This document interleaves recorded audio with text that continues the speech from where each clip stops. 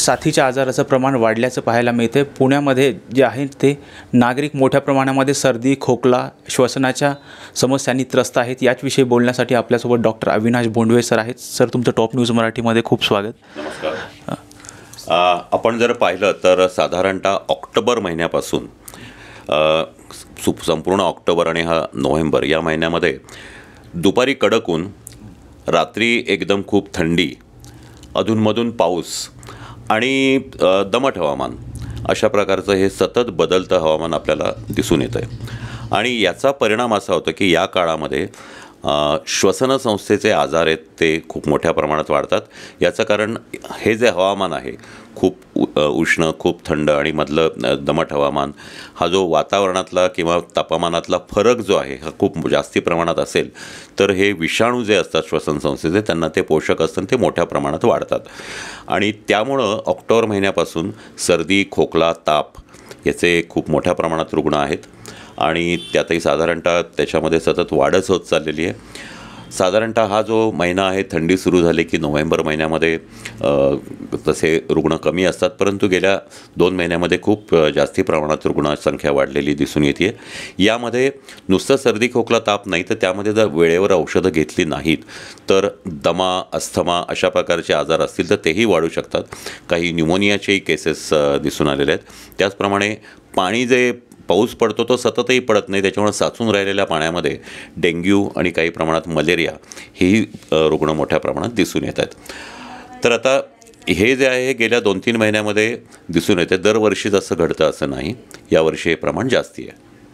Sir तापीचं पण प्रमाण गेल्या वर्षीच्या तुलनेत पाच टक्क्यांनी वाढल्याचं पाहायला मिळतं हो अगदी बरोबर आहे की साधारणतः दोन हजार वीस एकवीस आणि एकवीस बावीस या काळात कोविडच्या काळामध्ये जे काही रिस्ट्रिक्शन्स होते त्याच्यामुळे हे आजार खूप कमी होते. परंतु यावर्षी ते खूप मोठ्या प्रमाणात दिसून येतात. याच्यामध्ये हे हवामान बदलामुळे निर्माण झालेले विषाणू तर आहेतच पण सुरुवातीला गणपती मग दिवाळी किंवा हे बाकीचे जे सण आहेत त्या सणानिमित्त जी रस्त्यावर गर्दी होते त्याचंही प्रमाण खूप त्याच्यामुळे हे आजार एकमेकांपासून एकमेकांना पसरतात. याचबरोबर दुसरं एक असं आहे की गेल्या दोन महिन्यात आपण पाहिलं तर पुणे शहरातलं प्रदूषणाचं प्रमाण खूप वाढलेलं आहे. किंबहुना आत्तापर्यंतचं हे उच्चांकी प्रदूषित वातावरण आहे. याच्यामध्ये काय होतं की याचं मुख्य कारण हे आपल्या इथं जे ट्रॅफिक जॅम किंवा जे वाहनांमुळं जे काही धूर येतो ते कारण आहे.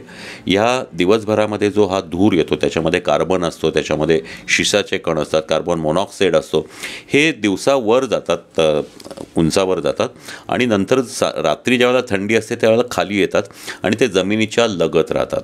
आणि त्याच्यामुळं सकाळी लवकर व्यायाम करणाऱ्या लोकांना किंवा संध्याकाळी उशिरा कामावर जाणाऱ्या किंवा गप्पा मारत बसणाऱ्या लोकांमध्ये याचं प्रमाण हे त्यांना हे प्रदूषणामुळं सर्दी खोकला तापाचं प्रमाण जास्ती आढळून येत आहे. त्याच्यामुळे मध्यंतरी अशी सूचनाही निघाली होती की लोकांनी सकाळी जाताना थोडं उशिरा जावं खूप पहाटे व्यायामाला जाऊ नये.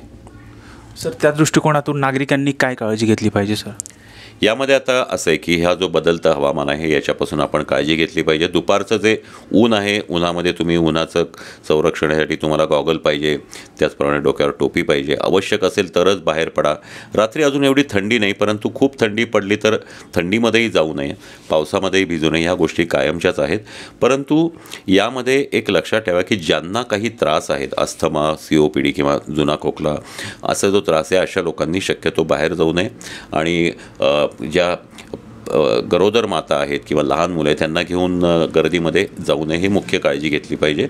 आणि डेंग्यूचे जे पेशंट आहेत त्याच्यासाठी आपल्या घरामध्ये किंवा घराच्या बाहेर आजूबाजूला जे स्वच्छ पाणी साचलेलं असतं ते अजिबात त्याचं उच ते त्या स्वच्छ करून घ्यावं. ते तिथं साठून देऊ नये. त्याचबरोबर दुसरी काळजी जी आहे ती म्हणजे थोडा जरी सर्दी खोकला ताप झाला तरी तुम्ही ताबडतोब औषधं घेतली पाहिजे डॉक्टरांना दाखवलं पाहिजे. आपण एक नेहमी पाहतो की आजकाल सर्दी खोकला झाल्यावर लोक मनानेच औषधं घेतात. तेही चुकीचं आहे. त्याऐवजी डॉक्टरांना दाखवून एखाद दोन दिवसात तुम्हाला बरं नाही वाटलं तर डॉक्टरांना दाखवून आपण औषधं घेतली पाहिजेत.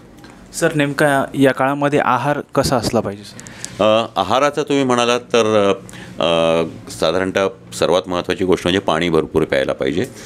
थंड तेलकट पदार्थ टाळावे कारण त्याच्याने हे खोकल्याचं प्रमाण वाढू शकतं. म्हणजे थंड खाल्ल्यामुळं खोकला होतो किंवा तेलकट खाल्ल्यामुळं खोकला होतो असं नाही. पण जर तुम्हाला सर्दी ताप असं इन्फेक्टिव्ह खोकला असेल तर त्याचं प्रमाण ह्या थंड पदार्थांमुळं कोल्ड्रिंक आईस्क्रीम किंवा खूप असे गार पदार्थ खाल्लेत तर वाढतं.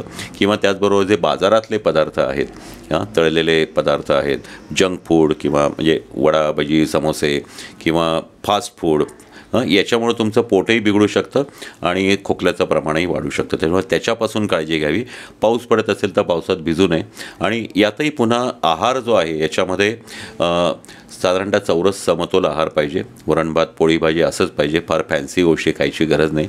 आता दिवाळी संपली आहे त्यामुळं दिवाळीचा काही प्रश्न नाही. परंतु ज्यांना मधुमेह किंवा डायबिटीस आहे अशा लोकांनी गोड पदार्थ टाळावेत. ज्यांना ब्लड प्रेशर आहे अशा लोकांनी खूप तळे तळीव पदार्थ किंवा खारट गोष्टी टाळाव्यात.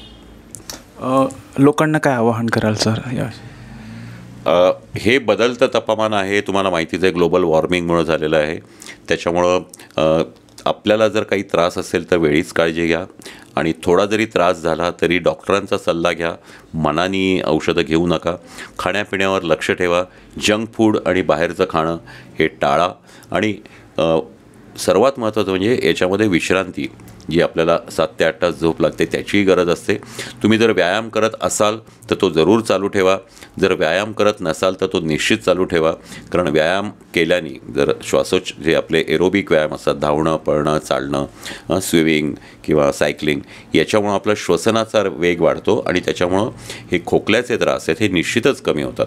ज्यांना धूम्रपान किंवा या गोष्टी सवय त्यांनी तेही टाळावं कारण ते हे खोकल्याचं प्रमाण किंवा खोकल्याचे आजार जास्ती गंभीर होऊ शकतात.